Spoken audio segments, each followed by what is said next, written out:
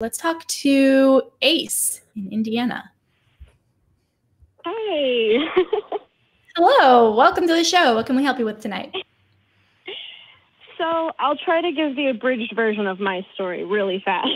um, so I grew up in Christianity, non-denominational, and my mom always pounded into us, basically like, in other words, like sex is bad. You can only have sex after marriage, blah blah whatever. Um, mm-hmm. And so I I realized that I was asexual um, when I was around 16, and then came out as an asexual lesbian, like homoromantic, when I was like 18, and now I'm 20, and crazy enough, I'm in a relationship with a guy. um, it happens. to yeah, the best yeah. of us. um, and and so now I just um, I find myself struggling a lot with the asexual portion of myself. Um, at nighttime, I struggle a lot um, with thinking about, you know, in the best way I can put it, you know, male genitalia and how to deal with that. And, you know, he's very, my boyfriend is very understanding and he's very patient with me, but it's just like this worry that I have that I'll never be able to, like, you know, support him in that way, like, enough, I guess, if that makes sense. I don't know if that makes sense. Can I ask how long you've been in that relationship? Um, we're going on about a year now, which is like the longest relationship that I've been in. Your experience is reminding me so much of my own relationship because I am also in a relationship with an asexual person. Um, and I typically think of myself as somebody who is probably more attracted to the feminine form, and my partner is a cis male. So, uh, uh, in, in some ways, we are kind of in similar boats. Um, yeah.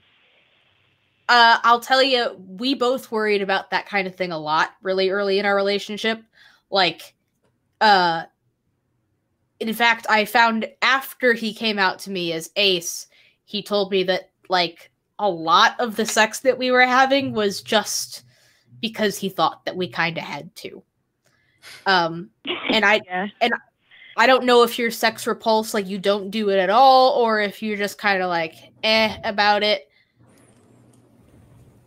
Um, I I've tried with him one time um, but that's like the only time I've had an encounter with someone, and it it didn't go horribly. It's just it was like pretty much what I expected, where it was like, eh.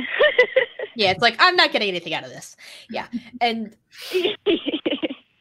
Uh, I and I'm saying that now, of course, for my own experience, but again, just for what my partner has told me is like it's not that uh, he's demisexual. I think is what he t- or gray asexual. So it's not that he gets nothing out of it, but it's like most of the time, if he has any sexual urges, he'd probably rather masturbate. Like that's kind of what it comes down to. yeah. Is like sex. Yeah, eh. sounds a lot like me. yeah. So, uh does your is your partner worried about you not being able to take care of him sexually? If I mean take care of, that's not. It's it's all a lot in my head.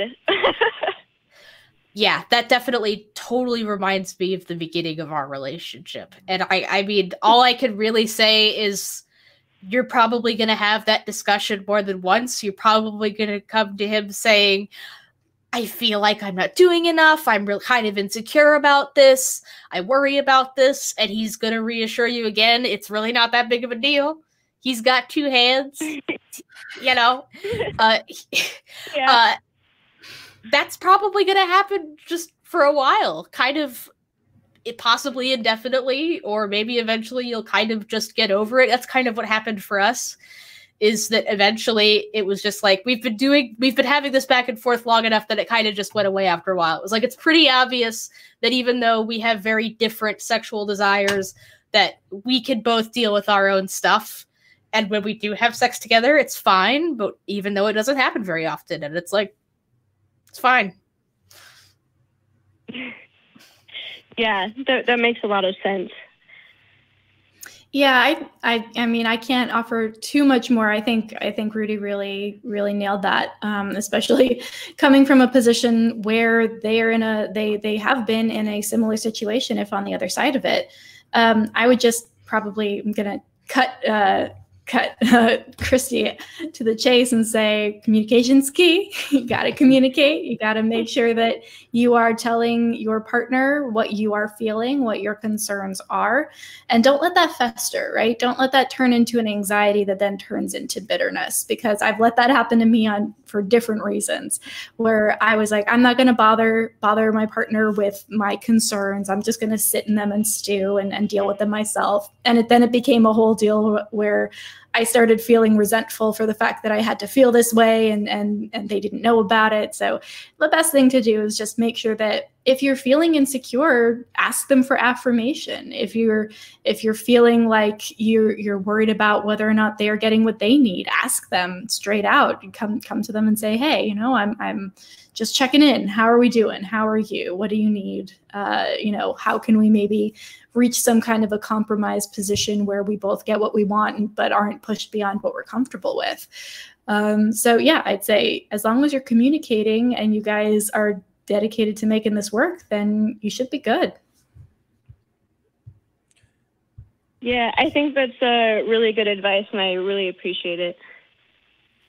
Awesome. Well, thank you for calling in. If you have the conversation and you're you you you come to a new conclusion, or you and your partner come to some kind of awesome, uh, you know, collaborative uh, approach to this subject, uh, definitely give us a give us a call back. We'd love to hear more from you. All right, sounds good. Thank you. Thank you, Ace. Have a good rest of your night.